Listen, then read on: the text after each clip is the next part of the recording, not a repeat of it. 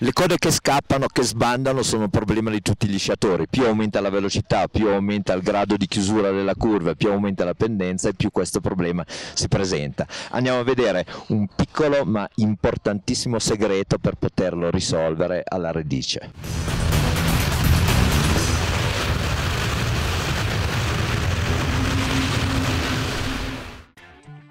Abbiamo parlato nella puntata del vincolo di come appunto far tenere lo sci, di come tirare sotto di noi gli sci rispetto a un tappetino che ci eh, viene tirato via da sotto i piedi. Ma eh, è molto importante rispetto alla tendenza delle code a scappare immaginare questo tappeto proprio sotto le code e già durante la fase di cambio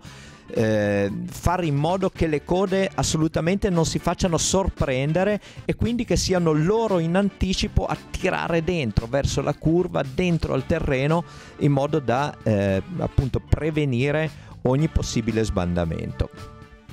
Azione da protrarre poi durante la curva in modo da assicurarci che le code stiano sempre in traiettoria senza nessuno, nessuna derapata.